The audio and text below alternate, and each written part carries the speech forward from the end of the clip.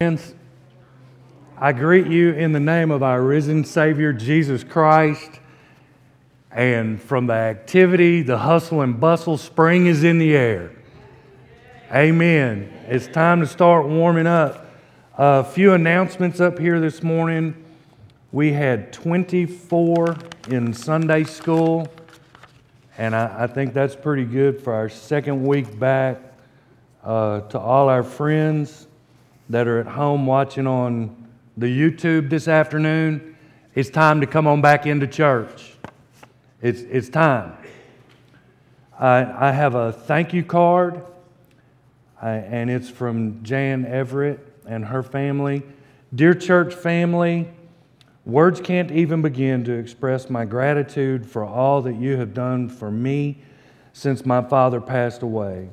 All the cards, calls, prayers, and food were so appreciated. The food that you sent to Fulton was exactly what my family needed. Thank you again for being such a great support system in Christian love, Jan. And Jan, I'll say it was an honor to be here to go through that with you. And if you need me, call me. And just keep breathing in and out. Breathing in and out, in and out. Are there any other announcements this morning?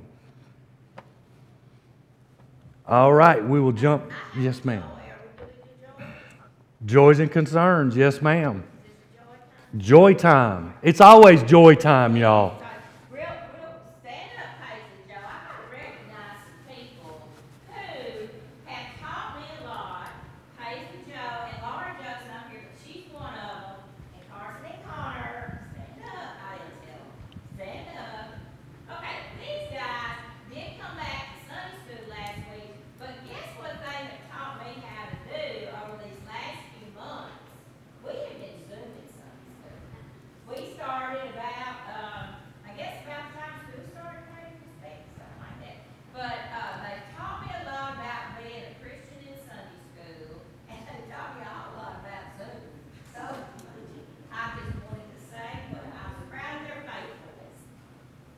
Zoom is a great tool. And I'm very impressed that you were using it to stay in touch with the kids. That's, that's what I'm saying. That's a great joy. Are there any other joys or concerns this morning? Yes, ma'am.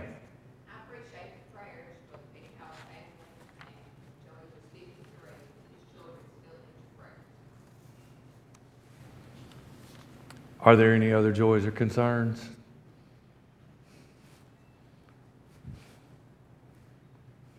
Intern, it's good to have you back with us. I barely recognize you with your mask on.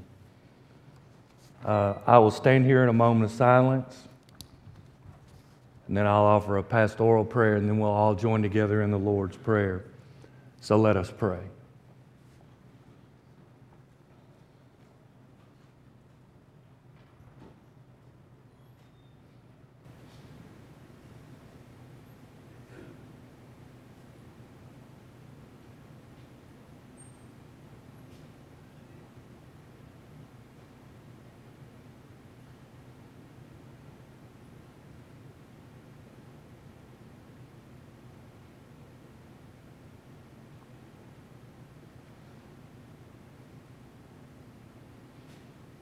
Heavenly Father, thank you for the gift of another day that we can join together and worship you.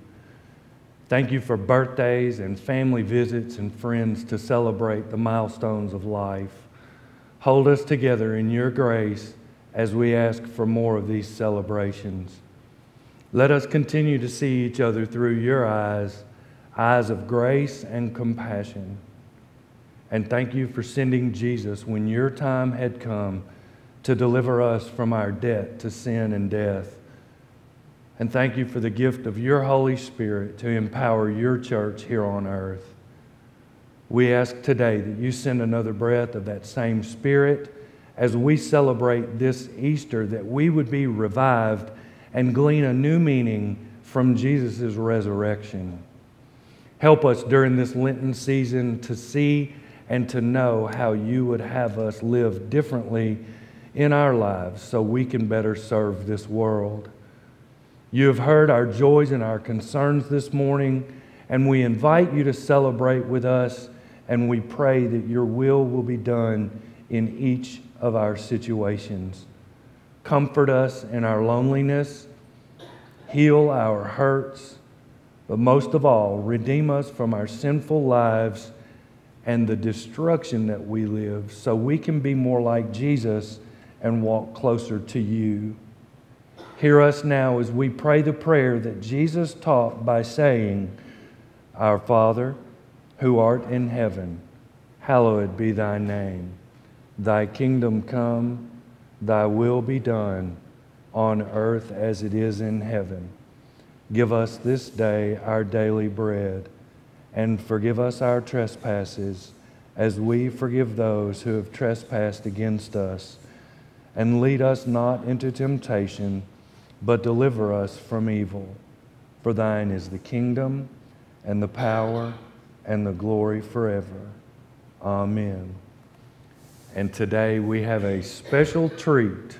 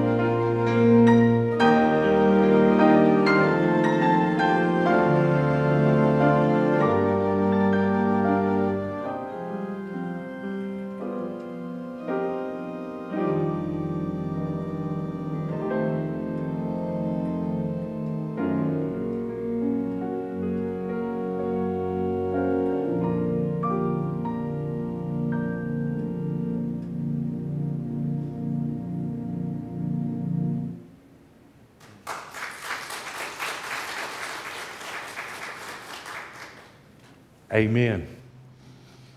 Our gospel lesson this morning comes from John chapter 12, verses 20 through 33. Would you stand with me for the reading of the gospel? Now, among those who went up to worship at the festival were some Greeks. They came to Philip, who was from Bethsaida in Galilee, and said to him, Sir, we wish to see Jesus. Philip went and told Andrew. Then Andrew and Philip went and told Jesus. Jesus answered them, The hour has come for the Son of Man to be glorified. Very truly, I tell you, unless a grain of wheat falls into the earth and dies, it remains just a single grain. But if it dies, it bears much fruit. Those who love their life lose it, and those who hate their life in this world will keep it for eternal life. Whoever serves me must follow me, and where I am, there will my servant be also.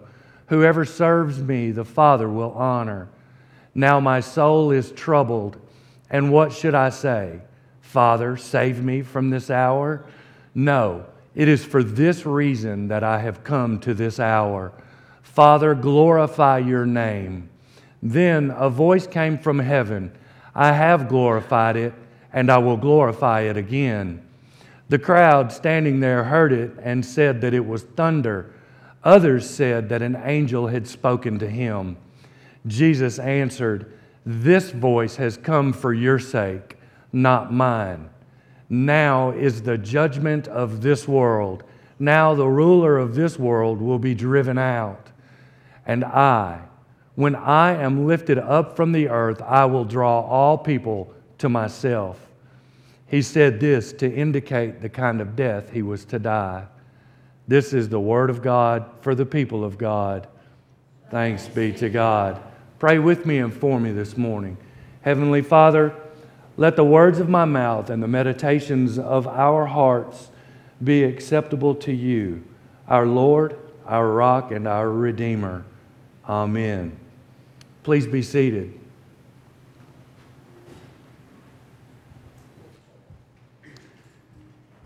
Here is the first verse that I read today. Now, among those who went up to worship at the festival were some Greeks. Now, there's two questions that we ask here. What festival is it talking about? And who were these Greeks? So, to answer those questions, I'm going to ask a question. What festival are we fixing to celebrate here in our Christian church? In the church. See, that's the state of Tennessee. Hey, you're still going down the right path. We're fixing to celebrate Easter, right? And Easter is simply an echo of the original Passover when God delivered God's own people out of slavery when they were in Egypt. Do y'all remember that story? Maybe we should have a refresher course so you could get the context. All right, enough that.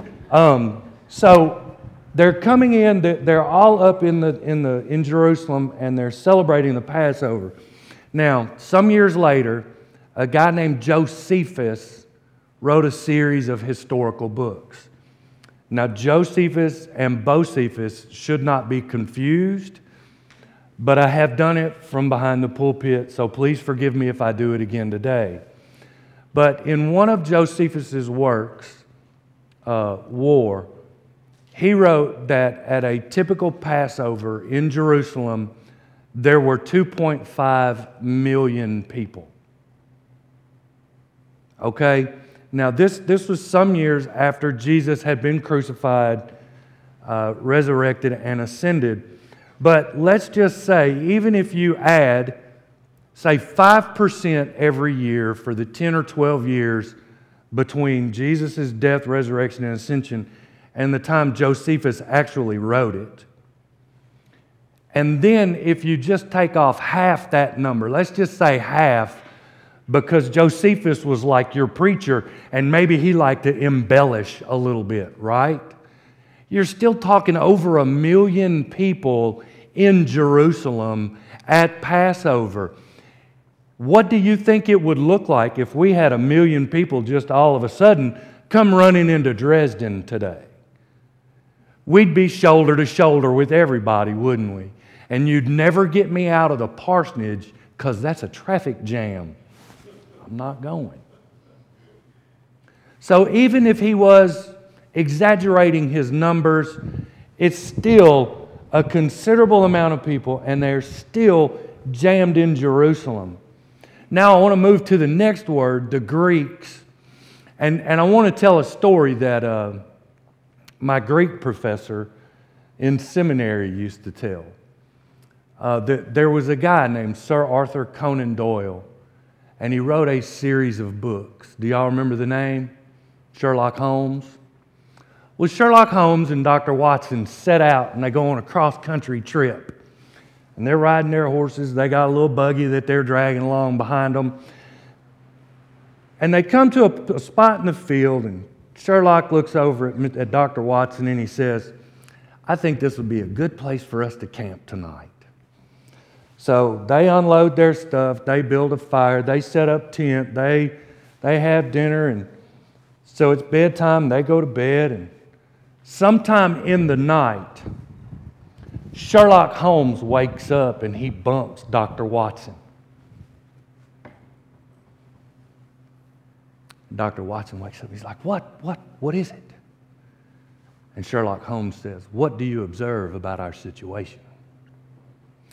So Dr. Watson sits up and he starts looking around and he says, Well, I can tell that we have a southerly wind blowing in, and that means that it's my, there's a chance of rain tomorrow. And Sherlock Holmes says, What else can you deduce about our situation? And he looks around and he looks up and he says, Well, I can see the northern star. That means our trip should end fairly early after we get on the road tomorrow. And Sherlock Holmes goes, And what else can you deduce about our situation? And Dr. Watson goes, What are you driving at, Sherlock? What are you driving at? And Sherlock Holmes looks over at him and says, Somebody stole our tent.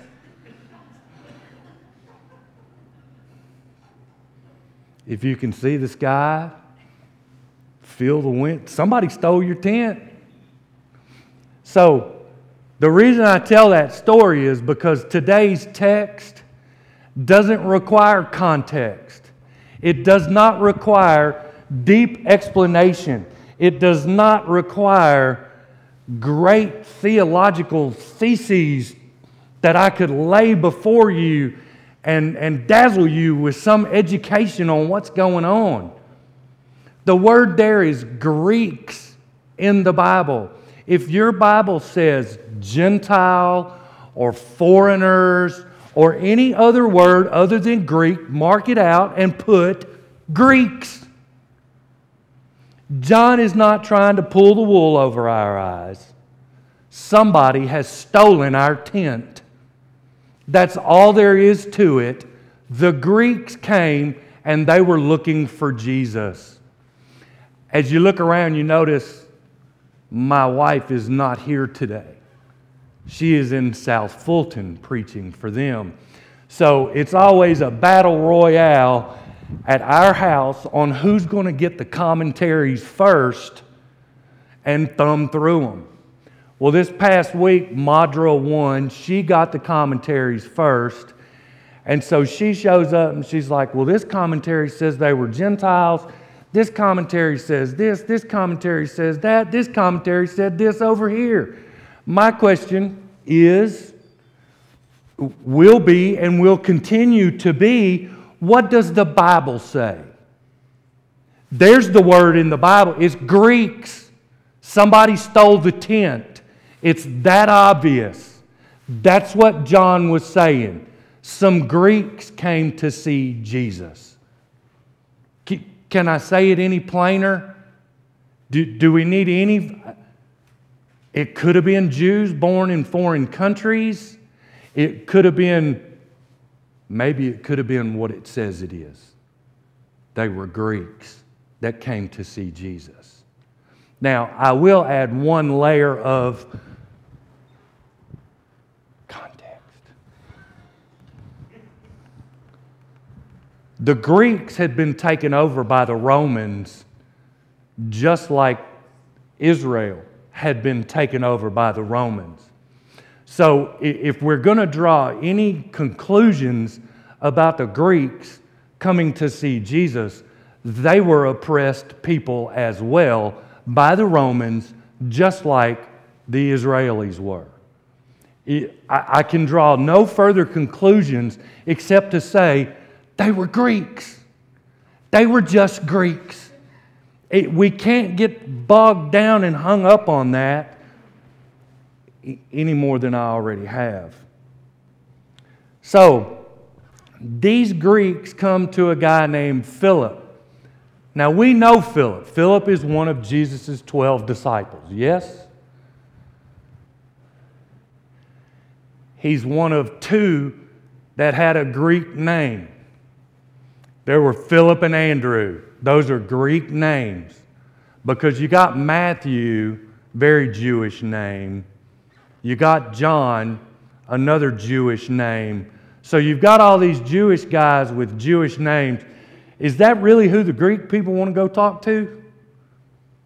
No, they want to go talk to somebody that, that they might actually understand when they start talking.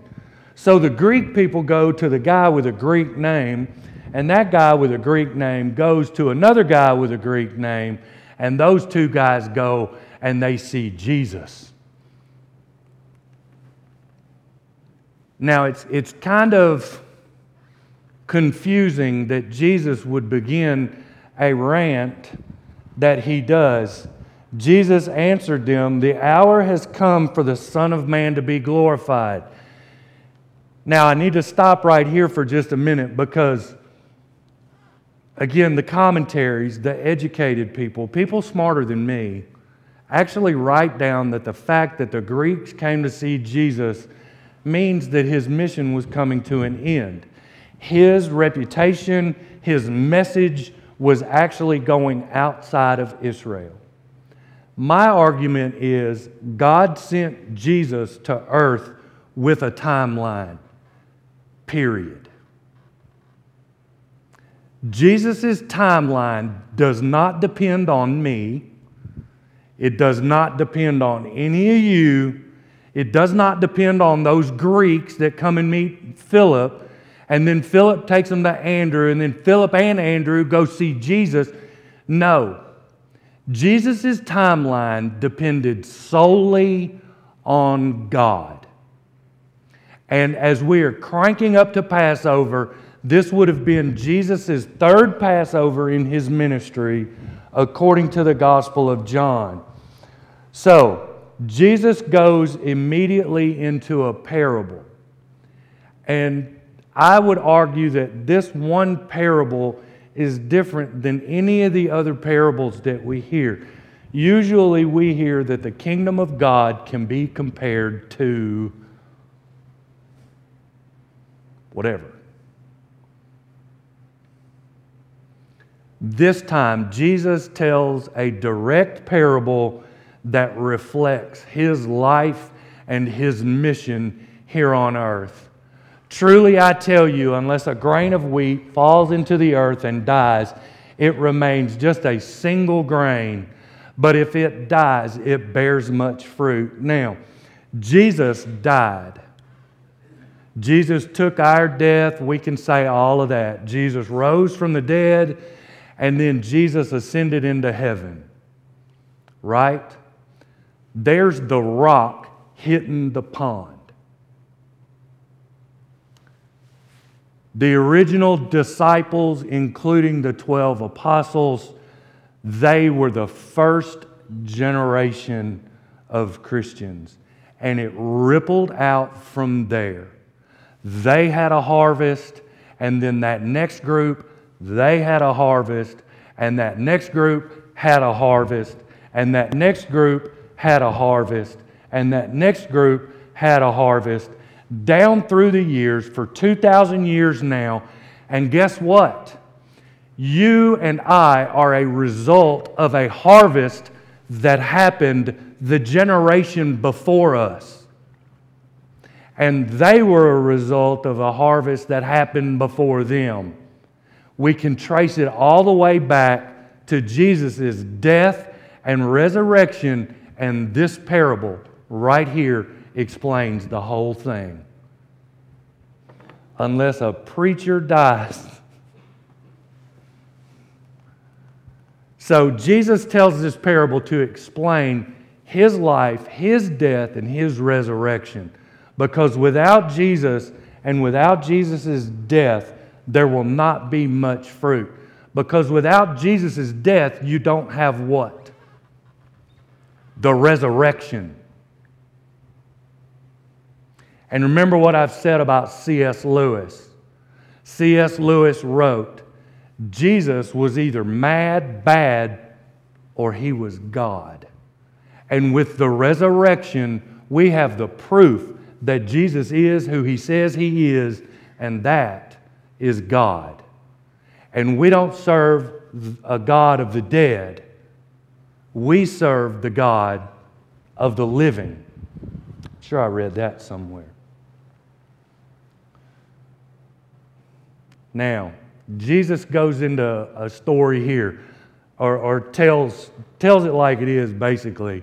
Those who love their life lose it, and those who hate their life in this world will keep it for eternal life. Have I talked about a guy named Joe Dongell to y'all ever? Uh, Joe Dongell was my New Testament professor at, at Asbury Seminary. Brilliant man. Um, about the first three class periods, I was sitting there wondering if I shouldn't drop his class because when he talked, he talked way up here, kind of over my head, and I, I really didn't quite comprehend everything. But he said of these, these words right here that Jesus was speaking in hyper hyperbole. Did you, get, did you catch that? Hyper hyperbole. If you love your life, you will lose it. In other words, if you love things in this life so much, you will lose your life into those things that you love.